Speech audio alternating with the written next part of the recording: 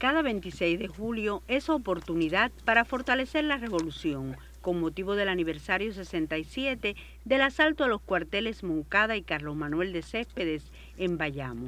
El buró del partido acordó otorgarle la condición de municipio vanguardia a Niquero por sus resultados integrales. La agricultura Niquero, Niquero siempre fue un polo productivo, ha ido reanimándose paulatinamente, alcanzando los niveles de años anteriores.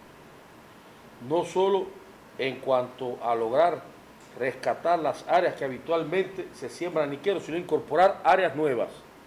De manera integral, Niquero tiene mucha fortaleza en el sector del Minal, representado por la industria pesquera, que también ha defendido, defendido sus principales indicadores y alcanza resultados sostenidos en esta etapa.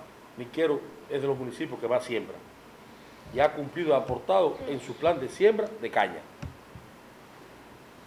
Por tanto, tiene el reto de seguir elevando los rendimientos agrícolas, pero también tiene el reto de lograr cumplir la, próxima zafra. También reciben la condición de destacados las localidades de Bartolomé Mazó, Río Cauto y Guisa, municipios que se destacan por mayores volúmenes en la producción de alimentos y avanzan en la vida social.